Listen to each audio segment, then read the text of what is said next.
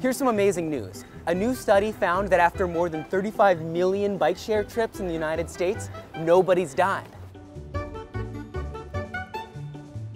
Regular bike rides are much riskier. 21 out of every 100 million trips are fatal. Bike shares are an increasingly popular way of getting around. Systems have popped up in dozens of cities in the past decade. And fewer people get injured on bike shares too. In DC, the collision rates are 35% lower than for regular bikes. So why would bike share bikes like this one be safer?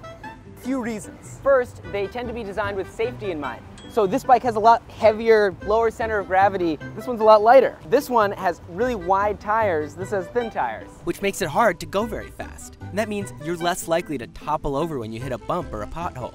Plus, the bike's bright colors, flashing lights, and upright seating make riders easier to see. The second reason is about where bike shares are.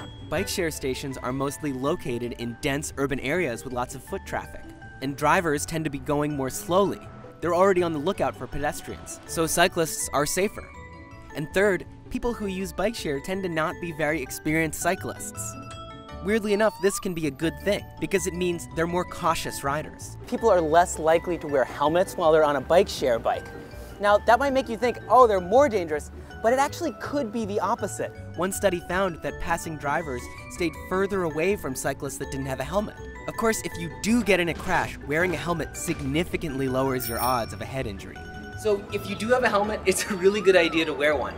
But if you don't, your mom's not watching, and the odds, well, they are in your favor. Ah, shit!